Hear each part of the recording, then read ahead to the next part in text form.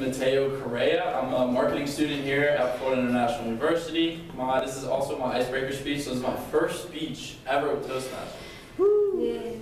But today we're talking about fear, and I love that we're talking about fear because I fear every day. Does, do you guys fear every day? Raise your hand if you fear at least once a day. It could be anything.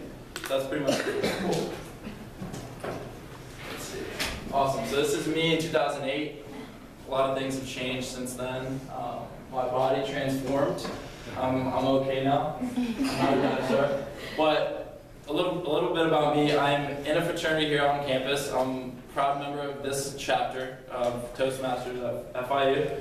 Um, nice. Some things I take pride in are my work, club, club, clubs here at FIU, work ethic. I love being able to connect and find common ground with anybody I meet, whether it's Miss T-Mobile, whether it's Morgan, whether it's Rubik's, my man who helped me solve the Rubik's Cube. So my biggest fear is stage fright. Whenever I speak in front of a group of any, like two or more people, for some reason I get stage fright. Now I, I feel like I handle it well. The only reason I come to Toastmasters not because Sushma looks like Ariana Grande, I get it, she does, but it's literally to help conquer my fear of public speaking. Now, one-on-one, -on -one, um, I'll do that any day, all day. I love being doing the one-on-one -on -one conversations with anybody, but there's something about public speaking and speaking to an audience that gets me rushed. Now, it's not that I don't want to do it, it's just something that gets my heart racing, that I love. That's what, this is why I do it. Now, there's times to panic. My, my public speaking professor freshman year, I don't know how he's a public speaking guy, um, but whatever, he had, the one thing that stuck with me was that if you're on a plane and it's crashing down, yes, you can panic, but when you're speaking to multiple people, there's no need to panic. So this is a relaxing thing.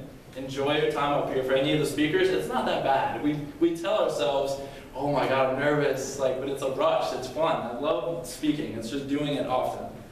And also snakes, I hate snakes, so, so I'm never going to your house. There's something about snakes, the slitheriness of it, the, the, the texture, everything. And if you wake up to that in the morning, and that is looking at you, panic, I get it. You can be fearful. I'll leave that up there for you guys to look at.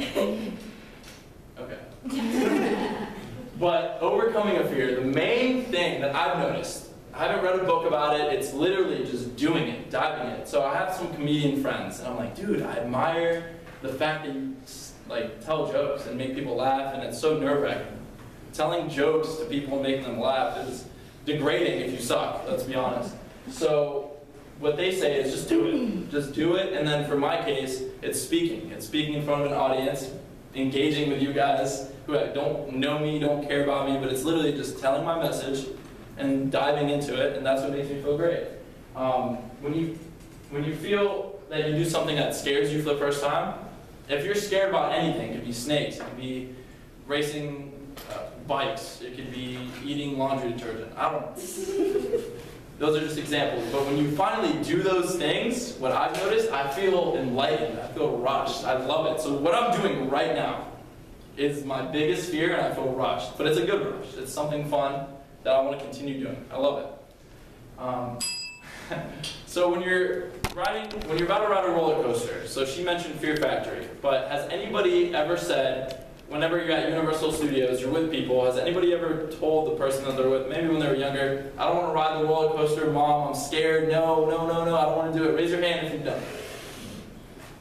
Did you ride the roller coaster and were you like, I want to do that again, let me do that again? That's what I'm, that's pretty much what, what happens when you conquer your fear. You, you're panicked, like Will Smith said, he was like, you're panicked for no reason before, and then once you do it, you're like, the best feeling ever. You feel enlightened, you want to do it, you want to do it again.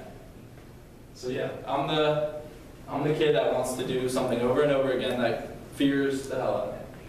Another fear that I have is the fear of living in regret. So if I signed up for this role and I completely backed out, that's a regret. I don't want to live in that. Life is so short. Guys, nobody will give a shit about you when you're dead. Like, let's be honest. Uh, that's the most blatant way I can say it. But when you're done, like, we're on earth for so many years, nobody's going to remember what you did, what you, what you said.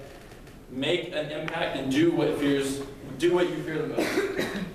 So this is something I have on my mirror that I look at every day. Fear shouldn't be something that you shy away from. You should go and dive into anything that fears you so you can feel that rush, feel that enlightenment. Face everything and rise. That's what I look at every morning. I encourage you to do the same. Thank you.